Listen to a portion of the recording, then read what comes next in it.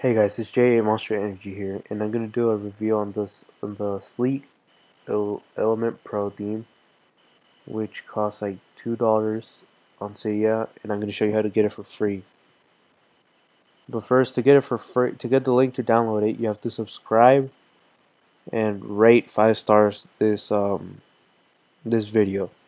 And when you've done that, inbox me and I'll send you the link. Alright, now to the review. You can see here it looks cool.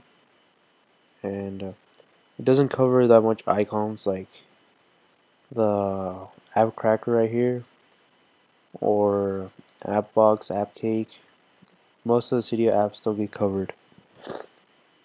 But usually uh, but when I got the theme the some of the app store apps were in cover like Call of Duty. So that's where I used um, let's see if I can find it I wipe catch, but I can't find it. But yeah, you use that app and it will get all your App Store apps covered. So that's a good thing. Alright, so that's the theme. It has custom loading screens like in Mail.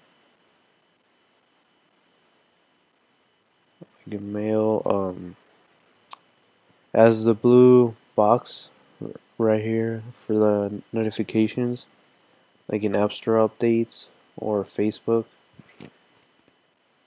And um, yeah it looks cool. I really like it. I usually don't like themes. I change it every week or so. But these the sorry. But this theme I had it for about a month now. And I really like it Oh yeah, and there was an update on Winterboard, and instead you could have it in in your um, settings. Now you don't need the app.